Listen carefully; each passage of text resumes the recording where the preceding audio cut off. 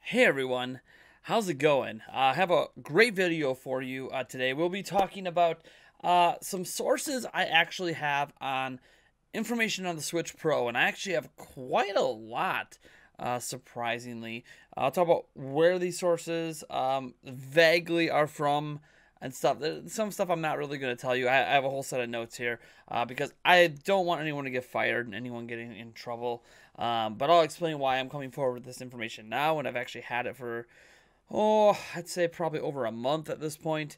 Uh, and before I do that, I want to remind you of a new giveaway we have going on for the month of March. I realize this video is releasing on the last day of February, uh, but we're wrapping up that, that last giveaway. So our new giveaway is actually going to be for a copy of Monster Hunter Rise, uh, and then two other winners are going to get $20 Nintendo Switch eShop gift cards, PlayStation Network cards, Xbox Live cards, whatever essentially a digital card worth 20 bucks for any of the major platforms out there. Uh, so there'll be three total winners for the month of March. A link to enter will be down in the description. And I wish all of you guys luck on that. And congratulations to whoever, because I don't know who won at the time of recording this, our last giveaway for February. All right, let's get into this. So uh, I have two sources they're from completely different places and completely different companies.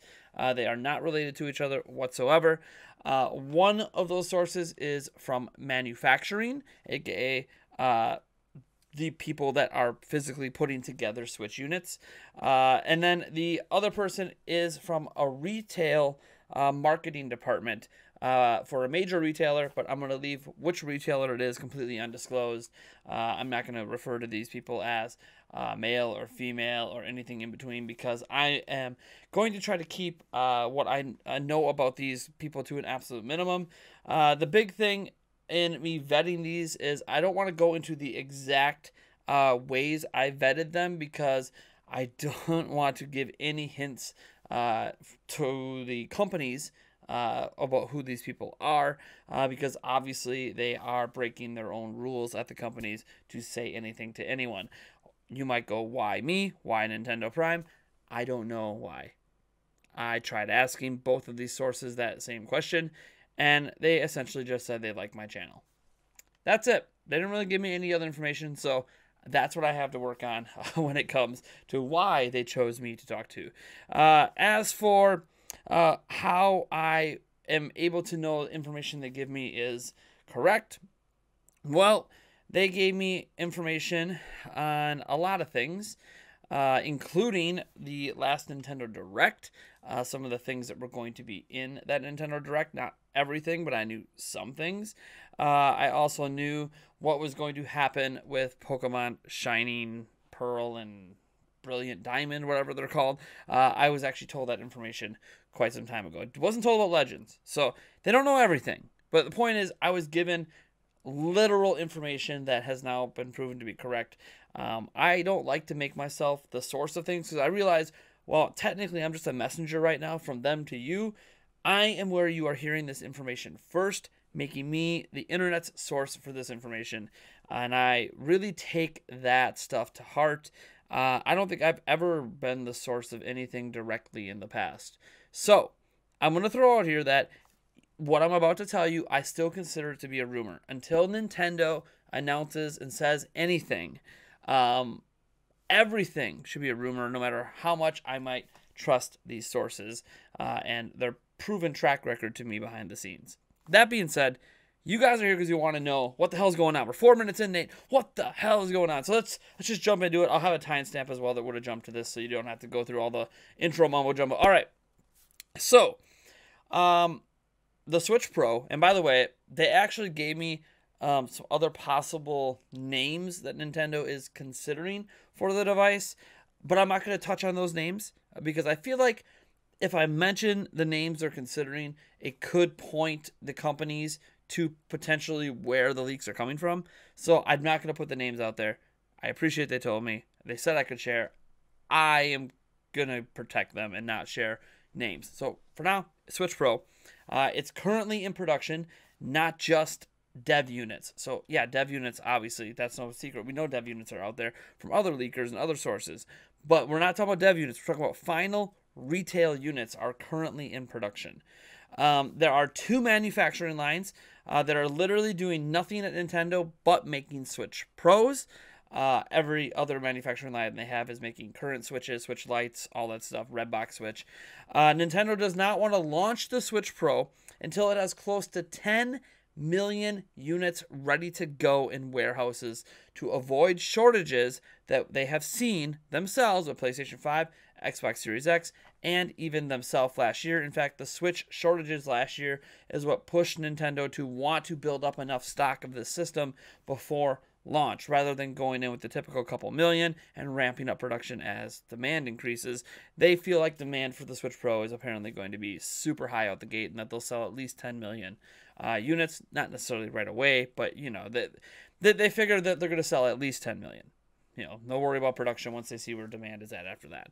Uh, they can't currently have more than two lines uh, making the units because of chip shortages. And this is something we already know exists out there. Uh, everyone's having chip shortages. This is why we can't get enough PlayStation 5s and Xbox Series X's and all that out there. Uh, why we can't get all the new latest and greatest PC components out there because there's there's a worldwide silicon shortage. Everyone's being impacted by this. Switch was impacted by it last year. Uh, so, yeah, uh, that is a thing, and that makes it so Nintendo can't actually ramp up production past where it's currently at. Uh, that being said, they did not give me any information on what chip is being used inside the system other than saying it is a new chip. Um, it could be new in that it's just a smaller, even more shrunk down version of Tegra X1 that's able to be overclocked with the same cooling solution. Uh, all the way up to other rumors and reports out there. I, I did not have DLSS 2.0. I did not have 4K talk to me. Um, they didn't really go too much into tech specs, which I know everyone wants, but it's a new chip. So it could be everything from just a shrunk down Tegra X1 that's overclocked all the way to you know the rumors that are out there that this is like something new with tensor cores or you know DLSS and 4K output. Possible. I don't have any information to refute any of those reports. Um, the screens are being manufactured by a completely different company than the current switches. Now, the current switches were being Japan Display and a couple others. Uh, that's not it. We do know that Nintendo does have a public contract with InnoLED Display, but none of those displays actually exist in any devices they sell now. So I think it's kind of a safe assumption that it's probably an InnoLED display, which can do everything all the way down to mini LED displays, even uh, much lower power draw, better better colors, more accurate blacks, all that jazz. And you can do uh, screens all the way to the edge. And um, it's just newer technology that's more energy efficient and produces better image quality. Would make a lot of sense to switch to it if the price is right, of course. Uh, so whatever, going to be a new screen. That actually is like a really old rumor. That was one of the first things we actually heard about Switch Pro is that it would have new screens. So there you go. Um, just reconfirming, I suppose, double upping, um, you know, whatever the old rumors. Uh, Nintendo wants to launch align the Switch Pro with a proper software. Not necessarily exclusives. People are worried about exclusives for the Pro, uh, but just in terms of games that can tangibly encourage users to consider upgrading. Uh, so this kind of aligns, I think, with a lot of people's thought processes. Breath of the Wild 2, um, Splatoon 3, uh, you know, Pokemon Legends, games that are going to be on the current Switches today, but maybe are just higher frame rate, higher resolution on the other platforms. Um, Nintendo uh, is has a goal to push current Switch momentum uh, as far as it can go, leading into release. A new strategy for Nintendo, according to one of the sources, uh, that is based on their history of using new tech to reinvigorate sales. So typically, what Nintendo does is they bring in a new version of a system, um, um, even a more powerful version, when sales are starting to go this way. Nintendo actually is trying to do the opposite this time and peak switch to sales like this, and then release the Pro and have that just take the peak even higher. That is Nintendo's goal. Whether or not they achieve it, we don't know. But I mean, you could argue they're on track for it, at least for the first half of this year. We'll see. Uh, people are probably wanting to know when is it going to come out. There's no exact time frame at this at this point. Obviously, we can look at game releases and try to figure it out. Um, they, neither of these sources are sure because Nintendo internally apparently has not actually picked an exact date yet. Uh, but could be anywhere from this year, 2022, sometime in the next 18 months. This thing's going to be on the market. Is my best guesstimate based on what they were talking to me about. Uh, Nintendo absolutely will not mention a Switch Pro, nor will they say anything new is coming soon because they're going to try to keep momentum going as strong as it can. Again, this kind of reaffirms what before they want Switch to peak and they want to release it at that peak, which is a completely different strategy. Uh, that's more like a, a PlayStation strategy, really. Uh, beyond that, there will be an extremely short announcement to release period. Could be as little as one or two months after the system is announced that it arrives. So literally, they could announce it tomorrow. It's here by April. Like that's that's kind of what it was sort of framed to me as it's going to be a really rapid announcement to release because when they announce it, they're ready to go. Basically, they're they're ready to get this thing out there. They don't feel they need a six month run up. In fact, that would makes a lot of sense since that would actually really kill Switch sales, and they don't want to ruin momentum. So if you're gonna have a, a temporary momentum stopper, it's because everyone's saving up money to just buy you know millions and millions of these systems at launch. So that is uh, what I have for you. Uh, nothing too groundbreaking, I would say, uh, but it is very interesting to uh, encapsulate all this information together and kind of paint the picture Nintendo is sort of setting up here uh, for Switch, assuming, again, that these sources are correct. I am still going to consider all this information to be rumors, even though I'm the source, even though I'm confident in these sources. I have never done this. this is a first.